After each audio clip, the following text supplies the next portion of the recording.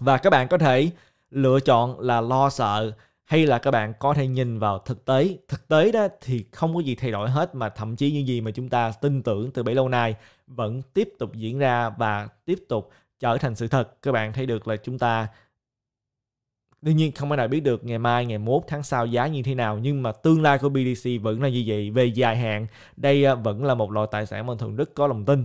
Và đương nhiên về dài hạn chúng ta phải nói tới là 2 năm, 3 năm chứ không ai chúng ta nói tới là ngày mai, ngày mốt được. Ngày mai, ngày mốt không ai biết được nhưng mà về dài hạn đó thì đây là một cái thị trường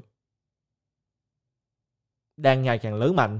Chúng ta thấy được những thông tin đó, như là hôm nay là cái quỹ đầu tư Purpose Bitcoin ETF ở Canada đó đã thu mua thêm nạp thêm 1.000 à, 1.100 à, BTC vào cái quỹ đầu tư của họ. Và đương nhiên chúng ta đang nói tới đó, chính là cái quỹ đầu tư Purpose Bitcoin ETF ở Canada và các bạn thấy được là tài liệu ở trên Glassnode cho thấy đó là theo thời gian thì cái số lượng Bitcoin được lưu trữ bởi ờ, Purpose Bitcoin ETF đó cứ tăng mãi theo thời gian, có nghĩa là càng ngày càng có nhiều nhu cầu của những nhà đầu tư muốn thu mua BTC thông qua cái quỹ này. Tại vì đây là một quỹ ở trên sàn chứng khoán ở Canada thì đương nhiên các bạn dùng, ứng dụng chứng khoán mua nó sẽ dễ hơn. Nhiều người thì họ vẫn có cái sự lo ngại là sử dụng những sàn như là Coinbase. Họ không muốn có thêm một tài khoản, họ chỉ muốn sử dụng tài khoản đang có để mà đi thu mua BTC thông qua tài khoản đó mà thôi. Đương nhiên cái mà họ thu mua đó là cổ phần, nhưng mà đứng sau lưng cổ phần đó chính là Bitcoin thật sự. Đương nhiên có những lúc mà chúng ta thấy được là cái số lượng Bitcoin giảm xuống, nhưng mà theo thời gian đó, từ lúc mà bắt đầu hồi tháng 2 của năm ngoái tới bây giờ đó, là cái số lượng Bitcoin cứ ngày càng tăng lên trên cái quỹ này, cho thấy được đây là cái sự phản ảnh của nhu cầu những nhà đầu tư, ngày lại càng con thú với cái quỹ này hơn.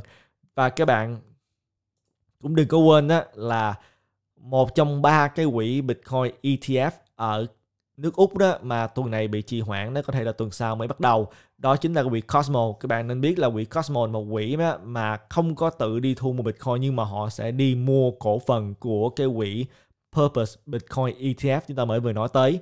Họ càng mua nhiều đó, người úc càng có hứng thú mua cổ phần của Cosmo, thì họ sẽ càng mua nhiều cổ phần của cái quỹ Purpose, cái quỹ Purpose này đó, sẽ càng đi thu mua thêm BTC cái sự ảnh hưởng cũng sẽ là như vậy. Đó là điều đầu tiên tôi muốn chia sẻ mà những cái thông tin tốt ngày hôm nay. Kế tiếp nữa đó, đây là cái thông tin của ngày hôm qua, đó chính là công ty đầu tư Yahoo! Fidelity. Công ty này nói đó là trong năm nay sẽ ra mắt cái sản phẩm là cho những người mà đầu tư về hưu đó, sử dụng cái quỹ 401k đó 4 đến 1k có thể là dùng cái quỹ đó để mà mua Bitcoin. Bây giờ các bạn chỉ có thể mua cổ phiếu hay là những cái à, quỹ đầu tư trong thị trường cổ phiếu mà thôi. Nhưng mà trong năm nay đó, họ sẽ cho những công ty nào mà chấp nhận dịch vụ này đó, thì những cái người đầu tư thì họ có thể là đầu tư về hưu đó 20% của tổng cái phần trăm 401k của họ vào thị trường Bitcoin. Đương nhiên đây à, là không phải công ty nào cũng sẽ có được um, cái sự lựa chọn này tùy theo công ty các bạn làm là công ty nào. Thật ra công ty mà thuận đang à, làm việc đó thì cũng sử dụng cái quỹ Fidelity hy vọng là có thể có được cơ hội mà thông qua quỹ 401k để đầu tư về hưu sử dụng BTC thay vì các bạn là mỗi một lần các bạn lãnh lương đó, thì sẽ trích cho một phần để mà đầu tư vào cái quỹ 401k này. Trong cái quỹ này các bạn có thể lựa chọn các bạn thích đầu tư vào cổ phiếu nào hay là quỹ đầu tư nào. Nhưng mà các bạn cũng có thể dùng cái số tiền đó để mà đầu tư vào Bitcoin nếu như công ty các bạn cho phép. Và đương nhiên công ty đầu tiên trở thành khách hàng mà cho phép nhân viên của mình đầu tư vào BTC thông qua quỹ 401k là công ty nào? Các bạn có đoán được hay không? Đó chính là công ty MicroStrategy của Michael Saylor đương nhiên rồi đó là một công ty mà rất là bullish về thị trường này. Và điều quan trọng đó các bạn thấy được là công ty Fidel đây là công ty à, về đầu tư về hưu rất là lớn.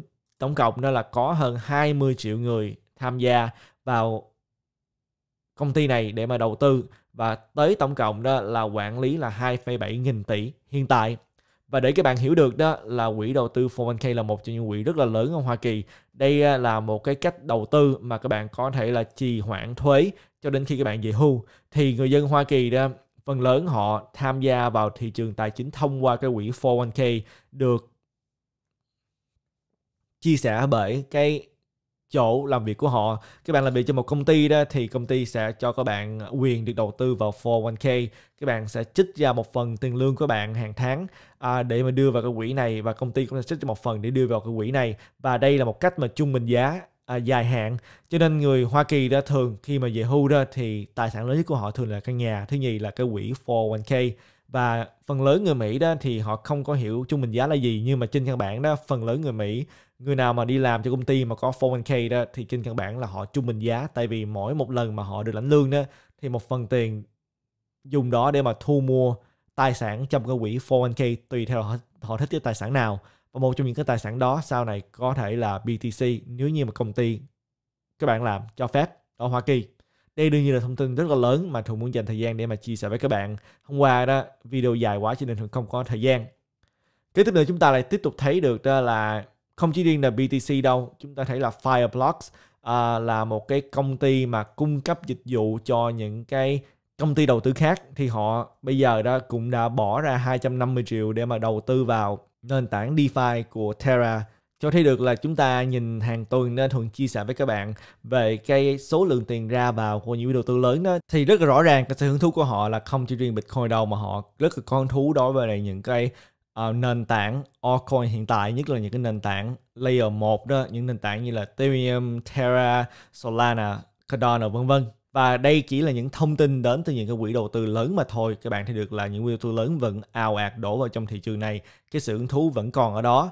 Và chúng ta có thấy được là không chỉ riêng là những quỹ đầu tư chúng ta được là những nhà đầu tư lớn như là uh, Cathy Wood và Mike Novogratz ở trong cái hội nghị crypto Bahamas. Thì cả hai người Cathy Wood và Mike Novogratz vẫn có lòng tin là Bitcoin sẽ đạt được tới cái mức là 1 triệu đô la. Và đối với lại Cathy Wood thì việc BTC đạt được 1 triệu đô la trên một đồng đó, khoảng chừng năm 2030 là điều mà cũng không có gì gọi là quá lớn đau đâu. Tại vì thứ nhất, tiền ngày càng mất giá. Thứ nhì nữa đó là Bitcoin ngày càng trở thành một cái vàng 2.0 vàng điện tử. Thì theo lý đó là Bitcoin ngày sẽ càng lấy thêm phần trăm của thị trường của vàng. Và vàng là một cái thị trường mà lên tới là 12 13 nghìn tỷ thì bây giờ. BTC hoàn toàn có thể đạt được 1 triệu đô la đối với lại Cathy Wood và càng ngày chúng ta sẽ càng thấy là nhiều quỹ đầu tư, nhiều công ty và ngay cả quốc gia cũng sẽ lưu trữ Bitcoin trong ngân sách của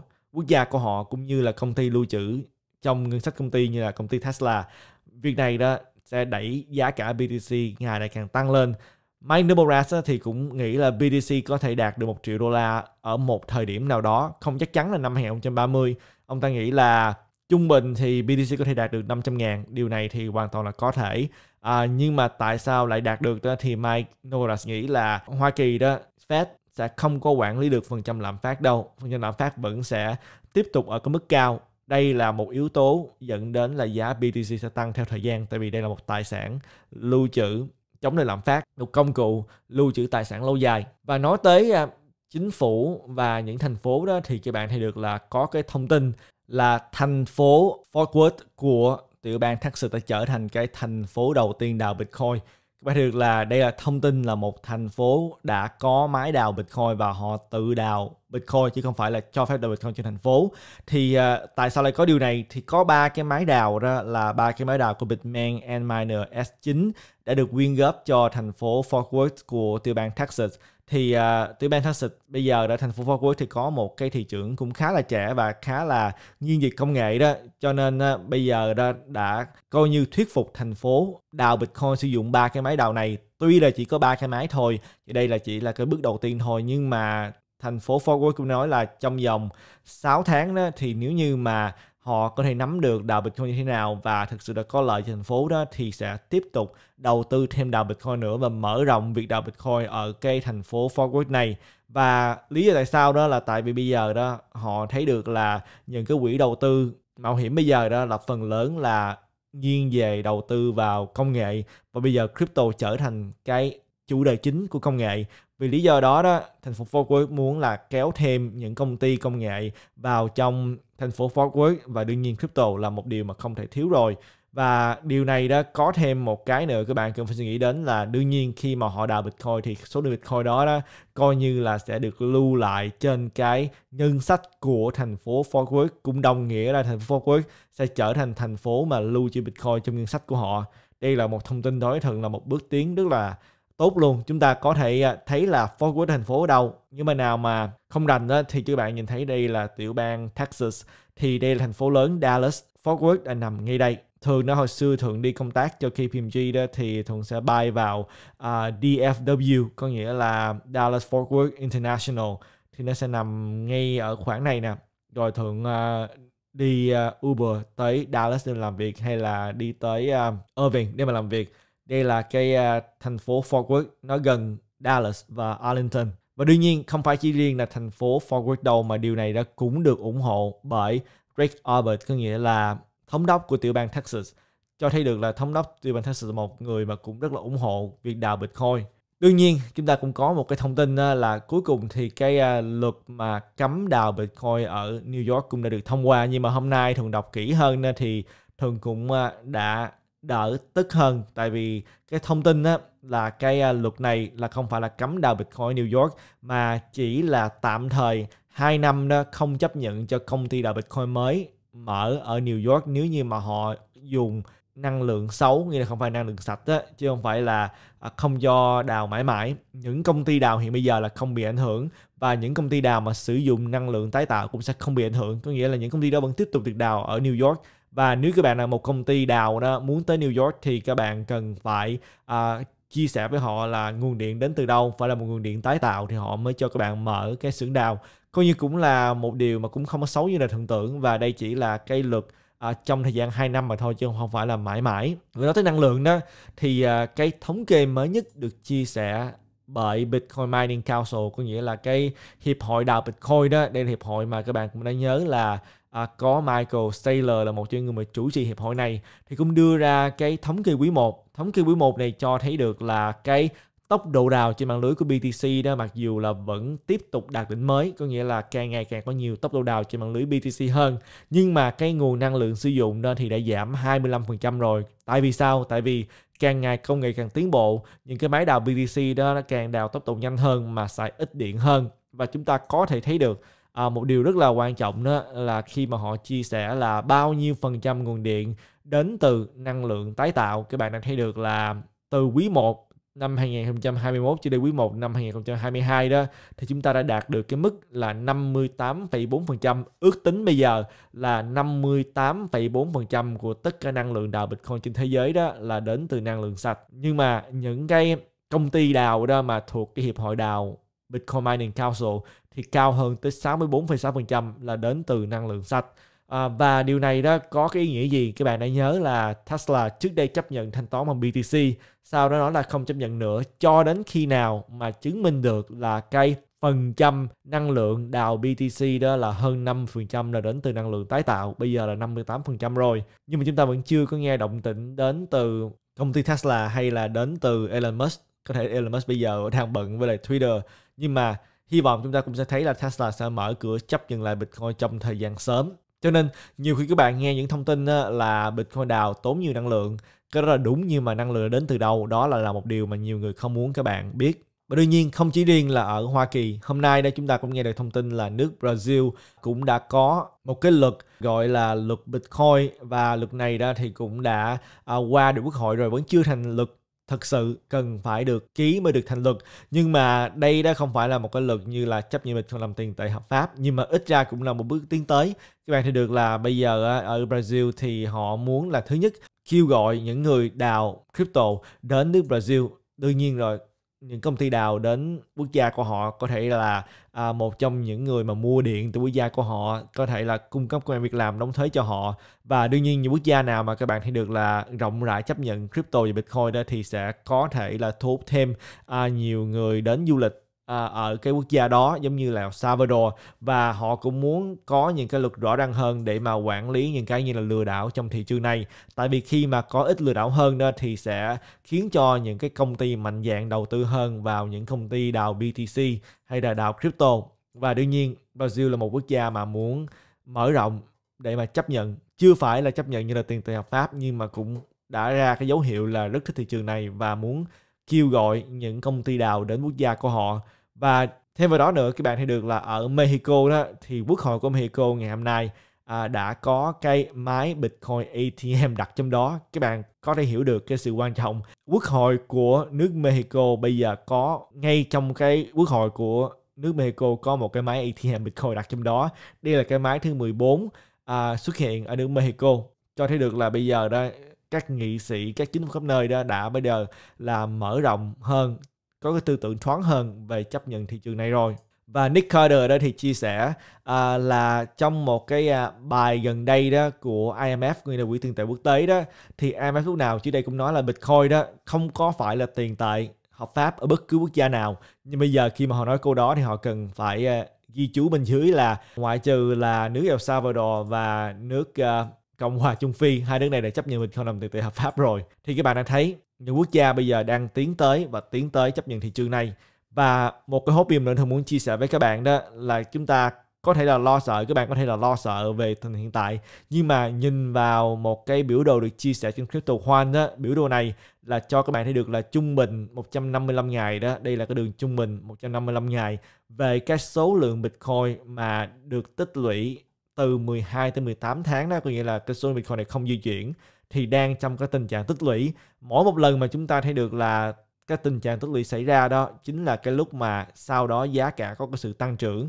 Khi mà giá tăng lên đó, như là chúng ta thấy được là năm 2020 và năm 2021 à, đó thì chúng ta thấy được là sẽ có cái dấu hiệu là những cái đồng này à, được di chuyển có nghĩa là được bán đi. Nhưng mà khi mà giá cả không tốt đó thì những lúc mà mọi người lo ngại những lúc mà mọi người chán nản đó thì lại có cái sự tích lũy xảy ra. Có nghĩa là nói đơn giản, những cái bitcoin từ 12 tới 18 tháng đó là đang được tích lũy hiện bây giờ trong cái khoảng thời gian này. Và như thường đã chia sẻ, những gì mà thường mới nói mới đây đó liên quan đến là những công ty, những ngân hàng chấp nhận, những quốc gia chấp những cái thị trường, những cái quỹ đầu tư vân vân tất cả những điều này đã điều hoàn toàn không có trước đây. Thậm chí là phần lớn đó thị trường tài chính nói chung những quỹ đầu tư à, những quốc gia những nghị sĩ đó trước đây đó là điều rất là bearish rất là ghét thị trường này. Nhưng mà các bạn cũng nên nhớ đó là không có kẻ thù vĩnh viễn và không có bạn bè vĩnh viễn chỉ có lợi ích vĩnh viễn mà thôi. Bitcoin là một thứ mà có đem ra lợi ích điều đó là điều quan trọng nhất. Ngoài trừ những điều này ra thì cũng có một số những thông tin à, khác tôi muốn chia sẻ với các bạn nhưng mà video cũng khá dài thôi sẽ chia sẻ ngắn gọn mà thôi à, thứ nhất đó chính là đồng GMT và GST cũng đã được lên trên sàn Coinbase rồi. Nhưng mà thì bây giờ đó họ mới thử nghiệm nó có một cái à, nhãn là nhãn thử nghiệm có nghĩa là họ đang thử nghiệm mà thôi. Không biết là có phải là chính thức hay là không nhưng mà ít ra những mà nào mà thích Steppen thì đồng GMT và GST cũng đã được lên trên sàn Coinbase rồi cũng là một cái thông tin tốt. Và đương nhiên đồng GMT đó có nghĩa là đồng Green Satoshi Token và GST là đồng Green Metaverse Token. Đây là hai đồng của mạng lưới của Steppen và đồng mà có cái số lượng hạn chế đó là đồng GMT có tổng cộng là 6 tỷ đồng tổng cộng. Và hàng quý đó thì sẽ có cái dấu hiệu là mua và đốt đi. Đây là thông tin cho những người nào mà yêu thích cái uh, hệ thống Steppen cái đó nữa là Cardano thì thông tin này cũng cách đây hai ngày rồi. Cardano đã cũng đã có một cái cập nhật là nâng cái dung lượng của cái khối Cardano lên 10% bây giờ đã lên tới 88 kilobyte à, từ 80 kilobyte để cho có thể là à, chứa được nhiều thông tin hơn. Mạng lưới Cardano nó sẽ có cái hoạt động tốt hơn và giải quyết được nhiều việc hơn. Cái đó nữa thì cũng Cardano thì cũng đã có à, một cái sự hợp tác với lại WenChain WenChain là cái nền tảng mà kết nối cầu với lại cái theo hiểu đơn giản là những cái nền tảng khác thì à, điều này có nghĩa là gì điều này có nghĩa là những người nào mà tạo ứng dụng trên mạng lưới Cardano thì cũng có thể là sử dụng lợi thế cái cầu của Wanchain và sau này đó có thể tích hợp được những cái đồng như là Bitcoin, Ethereum, DOT, WEN, XRP một số những cái đồng khác đó vào cái hệ sinh thái của Cardano thông qua cái cầu của Wanchain. và những người nào mà là fan của uh, Optimism đó, nghĩa là giải pháp tầng hai của Ethereum. Thì các bạn có thể nhận được những cái token miễn phí thường thì không có à, sử dụng Optimism cho nên thường cũng không có rõ là các bạn có thể lấy được cho miễn phí như thế nào nhưng mà có thể Google. Tại vì uh, Optimism họ sẽ đưa ra một cái token và họ sẽ đưa ra một cái token này đó là những người nào mà đã từng sử dụng hay là hỗ trợ Optimism thì sẽ nhận được cái token này miễn phí và cái à, token này đó là trong cái chiến lược của họ gọi là một cái nền tảng quản lý, quản trị Optimism, có tên là Optimism Collective. Thì cái nền tảng này sẽ chia làm hai, một cái gọi là token house, một cái gọi là citizen house. Thì cái à, token house đó là cái token à, sẽ được đưa đến cho những người nào mà đã từng sử dụng Optimism cái airdrop miễn phí. Citizen House đó sẽ được chia sẻ như là một cái NFT mà không thể được bán hay là được mua nhưng mà cũng sẽ có giá trị. Thì đây là cái thông tin liên quan tới Optimism. Chỉ đơn giản là mạng lưới tầng 2 Optimism của Ethereum sẽ có một cái token riêng và những người nào đã từng sử dụng. Hệ thống Optimism thì có thể là claim cái token đó các bạn có thể Google à, để tìm hiểu thêm. Và cuối cùng đó thì à, Sky Mavis có nghĩa là cái công ty đứng sau lưng à, cái uh, Ron and Jen đó cái vụ hack 600 triệu mà chúng ta cũng đã từng nói đến. Thì bây giờ có một cái thông báo đó là các bạn đã nhớ là cái người mà tấn công mạng lưới Ronan đó, thì họ đã thành công. Tại vì họ đã có thể kiềm chế được 4 trong 9 cái validators như là cái máy xử lý đó. 4 trong 9 cái thì trong thời gian ngắn tới đây đây trong vòng 3 tháng thì họ sẽ tăng lên tới 21 cái máy validators có nghĩa là sẽ tăng thêm uh, gấp 3 lần. Và trong thời gian dài đó họ sẽ có tới hơn 100 những cái máy nose uh, để làm gì? Để cho hạn chế cái việc là chỉ có quá ít cái máy dẫn đến cái sự tấn công này. Xảy ra sau này sẽ có nhiều cái máy validators hơn. Wow thường đã thành công chia sẻ hết những thông tin mà quan trọng với các bạn ngày hôm nay rồi. Thường hy vọng là các bạn nhận được uh, nhiều giá trị trong video này thường biết nó dài hơn bình thường nhưng mà đây là những thông tin mà thường nghĩ là các bạn à, cũng cần nên nghe qua để có thể nắm thêm thông tin. Và một lần nữa đó Thuận muốn cảm ơn các bạn đã dành thời gian để mà xem cái video ngày hôm nay. nhưng bên nào mà có hứng thú muốn tìm hiểu những ưu đãi dành riêng cho cộng đồng của Thuận Capital đó thì các bạn có thể bấm vào cái link ở bên dưới cái video này để mà tìm hiểu những ưu đãi như là các bạn có thể nhận được bonus hay là giảm phí giao dịch khi mà tham gia thông link của Thuận Capital giống như là các bạn à, có thể tham gia vào sàn Binance. Các bạn có thể được giảm tới 20% phí giao dịch. Hay là các bạn có tham gia vào những sàn như là sàn Bybit thì có thể nhận được bonus cũng như giảm 10% phí giao dịch tháng đầu tiên. FTX các bạn có thể giảm được tới 10% cái phí giao dịch. Và những sàn khác như là chúng ta có sàn NAPX, sàn Ascendex và những bên nào mà sống ở Hoa Kỳ đây thì có thể tìm hiểu những sàn như là sàn Binance US hay là sàn Coinbase, cũng như những bạn nào mà không có sống ở Hoa Kỳ đây thì vẫn có thể sử dụng những ứng dụng như là Nexo và BlockFi để gọi crypto lấy lãi và đương nhiên, crypto Khoan ứng dụng hỗ trợ biểu đồ và phân tích dữ liệu on-chain mà chúng ta cũng thường hay nói đến. Và Thuận hy vọng là các bạn nhận được nhiều giá trị trong cái video ngày hôm nay và Thuận sẽ hẹn gặp lại các bạn trong cái video kế tiếp. Tạm biệt các bạn.